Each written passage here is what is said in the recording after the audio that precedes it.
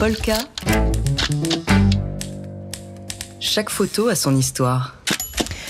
Et comme euh, chaque mercredi, on accueille un membre de l'équipe de Polka Magazine. Aujourd'hui, c'est vous, Dimitri Beck, qui nous présentait cette photo prise à Brasilia. C'était dimanche. Et l'image est impressionnante. Des centaines de personnes envahissent les pelouses, la passerelle et le congrès national de Brasilia. Ce qui marque tout de suite, c'est cette marée humaine qui porte pour la plupart le maillot jaune de la Seleção, l'équipe nationale de football. Du jaune et du vert, comme sur l'immense ce drapeau brésilien qui est déployé près du centre de, la photo en question. Et eh bien voilà, avec aussi de nombreux drapeaux sur les épaules des émeutiers. Et eh bien tout ça n'est pas un hasard et c'est même une information. Le maillot est devenu le symbole des supporters de Jair Bolsonaro, le président déchu qui a perdu d'une courte tête à l'élection présidentielle en octobre dernier contre son rival Lula. D'ailleurs, Bolsonaro n'a pas reconnu sa défaite et ses partisans non plus. C'est la raison de cette invasion, invasion en pleine journée dimanche 8 janvier, euh, des institutions de la place des trois pouvoirs à Brasilia, qui est le haut lieu de la démocratie au Brésil, avec le palais présidentiel, le Congrès sur la photo et la Cour suprême. Un ensemble qui s'inscrit et qui, inscrit, qui est inscrit au patrimoine mondial de l'UNESCO. Ces trois palais, un trésor de l'architecture moderne, réalisé par Oscar Niemeyer. Très vite, les images de l'invasion et de saccage des lieux vont être publiées sur les réseaux sociaux, des images qui vont choquer bien sûr le Brésil et le monde entier.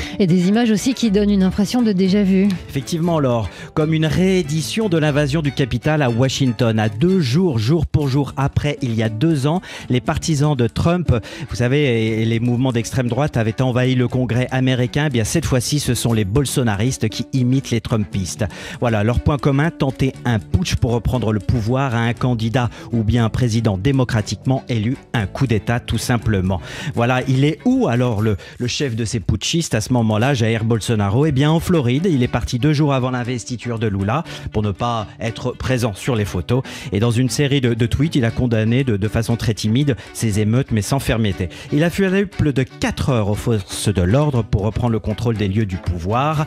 Résultat, 300 bolsonaristes interpellés le soir même et plus de 200 le lendemain.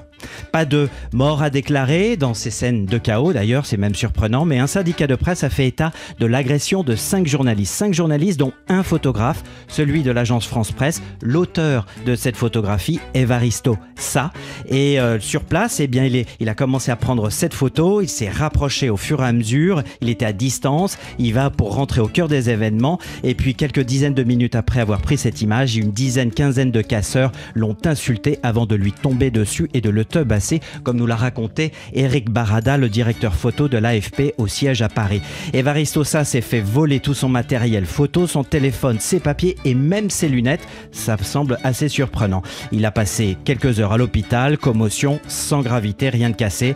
Mais voilà, il a pu retrouver tout ça, une partie de son matériel, ses papiers et son téléphone, suite à l'arrestation de certains des, euh, des émeutiers. Donc une attaque, c'était véritablement une attaque contre la démocratie qui a été choquée, mais pas tombée. Dimitri Beck de Polka Magazine. Polka. Chaque photo a son histoire.